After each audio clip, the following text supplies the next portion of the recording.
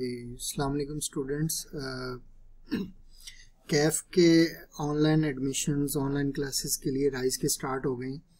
तो admission form online कैसे fill करना है और सबमिट करना है, इस हवाले से मैं आपको गाइड कर देता हूँ। तो ब्राउज़र आपने ओपन कर लेना है अपना और इसमें आपने राइज की जो ऑफिशियल वेबसाइट है Rise school dot E D U dot P K ठीक है?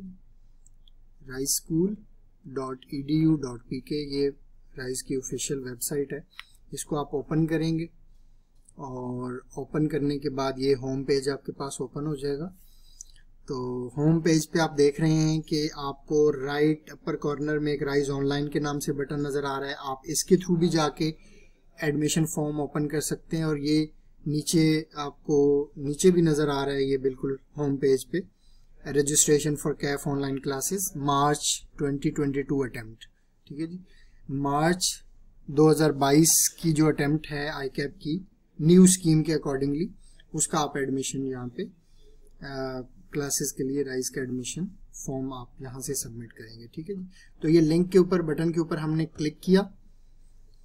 तो ये आपके पास, जो है वो एडमिशन फॉर्म जो है राइस का, ये ओपन हो गया, ठीक है?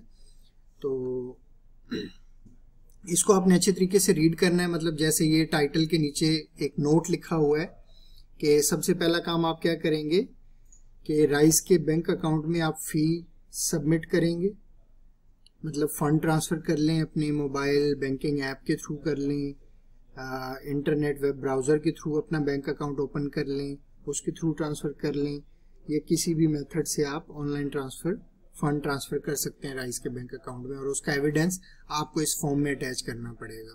ठीक है? अदर्स ऑप्शन में फिर ये है कि आपको बैंक में जाना पड़ेगा और वहाँ पे जाके आप राइस के बैंक अकाउंट में पैसे सबमिट करवाएँगे। ठीक है? और मतलब क्या है कि आपको सी एन आई सी की पिक्चर और फ़ी जो आप राइस के बैंक अकाउंट में ट्रांसफ़र करेंगे उसकी पिक्चर ये दो पिक्चर्स आपको ये फॉर्म फिल करने के लिए रिक्वायर्ड होंगी। ठीक है? तो फॉर्म के बिल्कुल अगर हम लास्ट में आए तो आपको यहाँ नज़र आ रहा है कि ये राइस के बैंक अकाउंट की इंफॉर्मेशन है। अब ये बैंक का अकाउंट का टाइटल लिखा हुआ है Rise premier virtual private limited और नीचे अकाउंट नंबर दिया गया है। ठीक है? ये मिज़ान बैंक का अकाउंट है, जो हमारा यहाँ फैसल टाउन लाहौर में है। तो इस अकाउंट में और इस ब्रांच के, इस अकाउंट नंबर में राइस के आपने पैसे सबमिट करने हैं, ठीक है? तो ये जब आप सबमिट कर लेंगे तो फिर आपने ये फॉर्म फिल करना है, ठीक है? पहले फंड ट्रांसफ़र कर लेने हैं आपने। तो यहाँ बाकी टर्म्स एंड कंडीशन सारी आपकी लिखी हुई हैं, कि ऑनलाइन लेक्चर्स के हवाले से टर्म्स एंड कंडीशन सारी जो राइज की हैं, वो सामने लिखी हुई हैं। तो आपने इनको अच्छे तरीके से पढ़ लेना है, समझ लेना है, ठीक है? फिर इन सारी टर्म्स एंड कंडीशंस जिनके साथ ये ब्लू चेक लगे हुए हैं, आपने इन सबको पढ़ना है, समझना है। और फिर आपने लास्ट पे जो है, इसमें अपना कंफर्मेशन देनी है कि आपने ये सारी टर्म्स एंड कंडीशंस आपने पढ़ लिए हैं और आप इन सारी टर्म्स एंड कंडीशंस से एग्री करते हैं तो ये लास्ट वाला चेक जो है आपने, इसको आपने लगा देना है, ठीक है? लास्ट चेक तो ये कंपलसरी है, ठीक है जी? मतलब ये सारे टिक लगे होने चाहिए और ये last I have read and agree to all the terms and conditions के ऑप्शन चेकड होनी चाहिए, ठीक है? फिर फर्दर आप मतलब अपनी पर्सन पर्सनल इंफॉर्मेशन देंगे।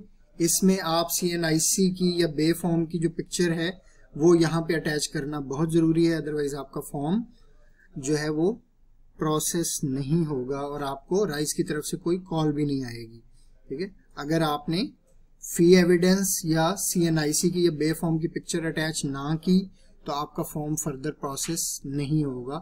वहीं स्टक हो जाएगा, ठीक है? प्रोसेस नहीं किया जाएगा फर्दर तो आप अपनी पर्सनल इंफॉर्मेशन फादर की इंफॉर्मेशन को एमरजेंसी के लिए कॉन्टेक्ट नंबर किसी थर्ड पर्सन का, वो आपने यहाँ लिखना है। फिर आप यहाँ से लास्ट में देखिए, आप सब्जेक्ट्स अपने जो है वो सिलेक्ट करेंगे। तो अब चूँकि आई कैप की नई स्कीम आ गई है तो न्यू स्कीम के थ्रू आपका कैफ वन जो पहला पेपर होगा, कैफ का वो एफ़ ए आर वन होगा। तो आप ये ड्रॉप डाउन एरो के ऊपर क्लिक करेंगे और नीचे आपको एक लिस्ट ओपन हो गई है कि एफ़ आर वन में ये चार टीचर हैं ऑनलाइन में आपके पास। उमेर शराज साहब हैं और आगे उनकी फ़ी लिखी हुई है ट्वेंटी थाउज़ेंड फिर नासिर अब्बास साहब, आगे उनकी फ़ी लिखी हुई है। और सर नवीद अंसारी ये स्पेशल बैच होगा intro plus F A R one के साथ। और लास्ट में जमशेद भट्ट साहब, इसकी फ़ी है टेन थाउज़ेंड तो मतलब कि आर्ट्स, कैफ के आठ सब्जेक्ट हैं और आठ के आठ सब्जेक्ट्स और उनके टीचर्स और आगे उनकी फ़ी जो है वो मेंशन की गई है। तो आप अपनी मर्ज़ी से जिस सब्जेक्ट का जौन सा भी टीचर आप सिलेक्ट करना चाहते हैं, आप कर सकते हैं। तो फॉर एग्जांपल, यहाँ पे हमने उमेर शराज साहब एफ़ आर वन में सिलेक्ट कर लिया। तो अब आप बिल्कुल बॉटम में जाएँगे तो टोटल फ़ी आपकी साथ साथ कैलकुलेट हो रही होगी, ठीक है? तो मतलब हमने कैफ वन लिया था एफ़ आर वन। और फिर हम लास्ट सब्जेक्ट जो है कैफ एट ऑडिट इसमें हम सर आसिफ का नाम सेलेक्ट कर लेते हैं, ठीक है? तो ये देखें ट्वेंटी थाउज़ेंड आपका कैफ वन का और ट्वेंटी थाउज़ेंड कैफ एट का। तो ये बस बताने के लिए था, आपको सिर्फ़ समझाने के लिए। तो ये टोटल फ़ी आपकी फोर्टी थाउज़ेंड यहाँ पे कैलकुलेट होके आ गई है, ठीक है? तो अब ये है कि फोर्टी थाउज़ेंड का जो फोर्टी परसेंट है ना वो आपने अभी पे करना है, अगर आप इंस्टॉलमेंट में पे करना चाहते हैं। सारा पे करना है तो आप पूरा चालीस हज़ार पे कर सकते हैं, ठीक है? अदरवाइज़ ये आप टर्म्स एंड कंडीशंस में आप देखेंगे तो ये लास्ट वाली जो ऑप्शन हैं, यहाँ पे लिखा हुआ है कि फ़र्स्ट इंस्टॉलमेंट कितनी होगी? Forty percent of your total fee मतलब जितने सब्जेक्ट आपने ऑप्ट करने हैं, उस हिसाब से टोटल फ़ी आपकी फॉर एग्जांपल एक लाख बनी है अगर, मिसाल के तौर पर तो आप उसका फोर्टी परसेंट अभी पे करेंगे। और सिक्सटी परसेंट जो होगा वो आपका, आपने पे करना होगा within one day of ICAP result ठीक है? जब आई कैप का रिज़ल्ट आ जाएगा तो उसके एक दिन के बाद मतलब एक दिन के अंदर अंदर आपने पे करना है। रिज़ल्ट से अगले दिन आपने पे कर देना है उसको, ठीक है? तो ये टर्म्स एंड कंडीशन सारी इसमें लिखी हुई हैं। तो आपने अपने सी की पिक्चर और लास्ट में क्या करेंगे? जब आप इस बैंक अकाउंट में पैसे सबमिट कर लेंगे तो फिर आप क्या करेंगे उसका स्क्रीनशॉट जो है स्लिप का पूरी स्लिप का ठीक है? इसमें ध्यान रखिएगा कुछ स्टूडेंट्स जो हैं वो पिक्चर कंप्लीट नहीं बनाते। तो वाउचर जो होता है खास तौर पे जो प्रिंटेड फॉर्म में वाउचर होता है जो आप बैंक में जाके पैसे सबमिट करते हैं तो उसकी पूरी की पिक्चर लेनी है आपने ठीक है? कोई मतलब कोई उसका पार्ट जो है वो पिक्चर में ए, कट ना हो ठीक है? उसमें कुछ सीरियल नंबर होते हैं जो हमें रिक्वायर्ड होते हैं। तो आपने उसको ध्यान से पूरी पिक्चर बनानी है और कोशिश करें क्लियर पिक्चर होनी चाहिए ताकि वो इजीली रीडेबल हो। अगर ब्लर होगी पिक्चर तो ज़ाहिर हमें समझ नहीं आएगा और आपका फॉर्म किसी भी वजह से वो डिले हो सकता है। तो इसलिए आपने पिक्चर अच्छी सी बनानी है वाउचर की। और अगर ऑनलाइन बैंक ट्रांसफ़र करते हैं आप तो फिर तो स्क्रीनशॉट लेंगे आप तो वो बिल्कुल क्लियर होता है। लेकिन जब कैमरा से पिक्चर बनाएँगे वाउचर की तो वो क्लियर होनी चाहिए। ठीक है जी? तो ये सारा फॉर्म कंप्लीट करके आपने हर एक ऑप्शन खास तौर पे जिन ऑप्शंस के साथ स्टेरिक लगा होता है मतलब ये रेड जैसे स्टार लगा हुआ है तो मतलब क्या है कि C N I C number mention करना कंपलसरी है, ज़रूरी है।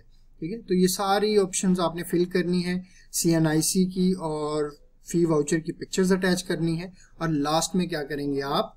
सबमिट कर देंगे। ठीक है तो सबमिट के बटन पे आप क्लिक कर देंगे तो लास्ट में एक आपको कंफर्मेशन मैसेज भी आएगा कि आपका फॉर्म सक्सेसफुली सबमिट हो गया है।